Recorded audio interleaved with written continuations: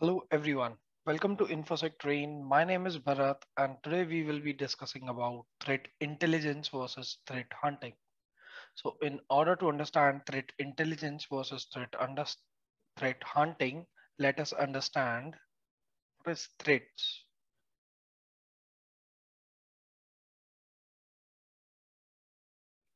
So threats in a layman's language, we can define threat as anything which does have potential to damage to the organization is known as threats. So any person, any APT group, any threat actor or anyone who possesses the risk or anyone who does have the capability to damage our organization is known as threats. So you might know there are multiple various different types of threat actors so threat actors are those who are basically possessing the threats in different different ways. Just for some examples, we do have script kiddies, we do have hacktivist, we do have organized criminals, cyber terrorists. All these are example of cyber threats, right? So next, since we do have now understanding about threats, let us understand about threat intelligence.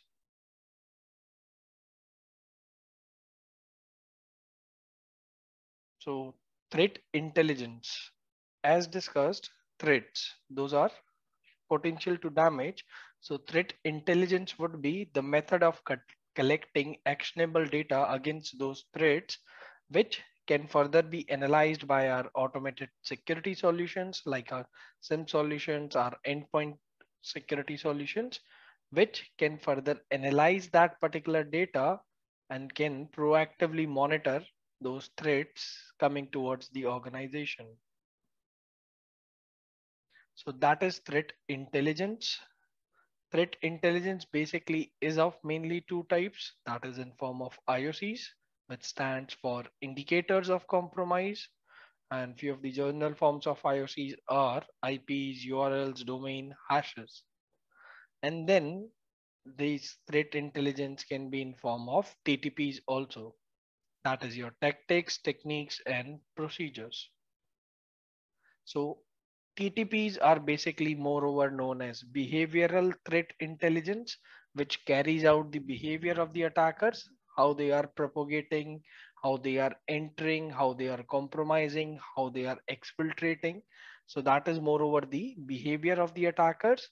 And if I do talk about IOCs, these are moreover the reputational data of the attackers. So that is guys basically our threat intelligence. Now let us have an understanding of threat hunting.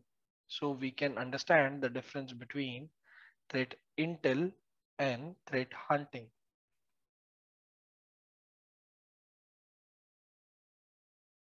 So threat hunting team, if we do talk about threat hunting, that is basically something which will be starting or beginning when where threat intelligence ends. That means once we have collected that intelligence, which we discussed in last slide, threat hunting is something which will be coming right after that, right? So using of that intelligence which we have collected, we will be taking that intelligence and we will be doing a thorough, thorough search of our entire system and networks to find out those malicious actors.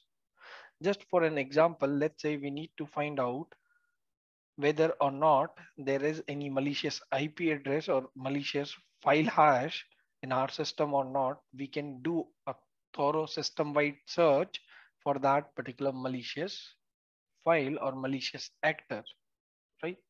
So it is moreover focused and iterative approach used to detect and remove the threats which might have bypassed our traditional security tools. Right?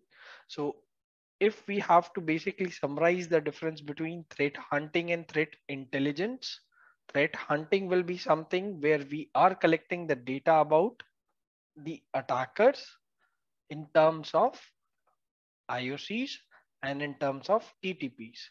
But when we do talk about threat hunting, threat hunting will be something which will be a next step of threat intelligence. in threat hunting, we will be looking upon in our systems, in our infrastructure, in our network, in order to find or detect malicious threats, which can be inside our system having a maintained and a persistent connection, right? So we do have multiple different methods to do so that we might be covering in our next upcoming class. So that's all for today, guys.